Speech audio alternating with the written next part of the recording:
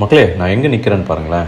கோலுக்கு straight லைனில் நிற்கிறேன் ஆனால் கோல் வந்து எனக்கு முன்னாடி இருக்குது இப்போது நான் கோலை நோக்கி அடிப்பேன் அந்த சைட்லேருந்து ஆனால் பால் ஸ்பின் ஆகி கோலுக்குள்ளே போகும். புரியலல்ல? இதை பாருங்கள்